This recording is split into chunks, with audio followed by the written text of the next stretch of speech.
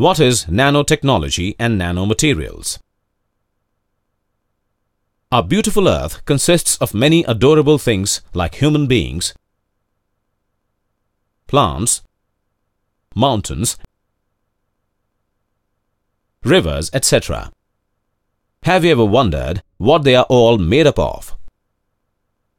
Yes, they're all made up of atoms, which can only be seen using high-power microscopes, such as the scanning tunneling microscope, the atomic force microscope, etc.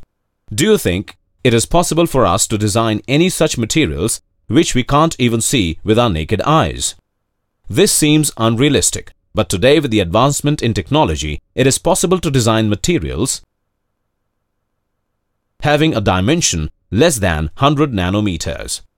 Such technology, which enables us to design materials which cannot be seen with our naked eyes, is known as nanotechnology. And the materials designed